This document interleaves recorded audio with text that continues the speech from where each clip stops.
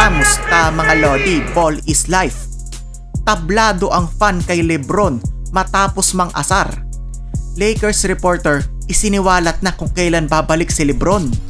Bago po natin pag-usapan yan mga Lodi, ay huwag kalimutan i-like ang ating video, mag-subscribe sa ating channel at i-click ang notification bell button para updated po kayo sa mga kaganapan sa basketball world.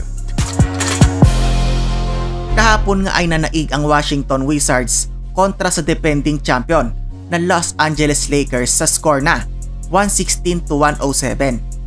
Sa ngayon ay nasa panglimang pwesto sila sa standings with 36 wins and 26 losses.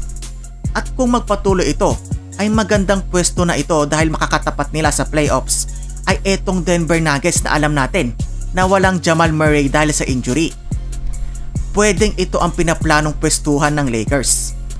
Kung malaglag naman sila sa pang-anim na pwesto, ay posibleng LA Clippers agad ang makaharap nila na alam natin na mas mabigat na kalaban.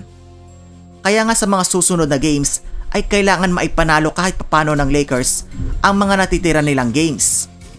Diyan na nga pumapasok ang paghahanap ng mga fans kay Lebron James. Pero bago natin pag-usapan yan mga Lods, ay kahapon pala ay may kumakalat na video kung saan sinigawan at inasar ng isang fan itong si Lebron James. Maririnig sa video na sumigaw ang lalaking fan na Lebron James you're a big baby. Narinig naman ito ni Lebron at tila tinabla agad niya ang fan. Umiyak din si Lebron James na parang baby at natawa pa nga ang mga nakadinig nito. LeBron, you're a big baby! Oh, don't say that. That's rude.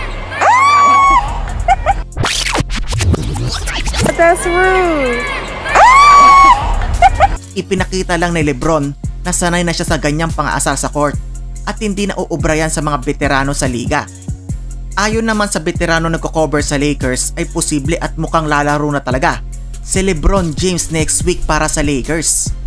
Dahil sa positive feedback sa kanyang recovery sa high ankle sprain ay posibleng lumaro na ito mula sa laban nila ng Denver Nuggets sa May 4 or pwedeng sa susunod na game pa versus LA Clippers or pwedeng sa susunod na susunod na game versus Portland Trail Blazers sa May 8. Pero kung tatanungin daw ang mga reporters kung kailan ba eksaktong babalik si Lebron James ay tanging Lakers management lang ang nakakaalam sa ngayon.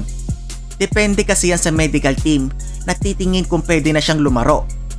Si Lebron mga loads ay nag-average ng 25 points, 8 rebounds at 8 assists per game. At kung makakabalik siya ay napakalaking bagay talaga sa Lakers, especially yung leadership niya sa fourth quarter, lalo na kapag dikitan ang laban. Kayo mga Lodi, bakit kaya inasar ng fan si Lebron? Sa tingin nyo, next week na kaya talaga siya babalik sa Lakers? I-komento nyo na yan sa baba mga Lodi at babasahin natin lahat yan. Maraming salamat at see you on my next basketball video.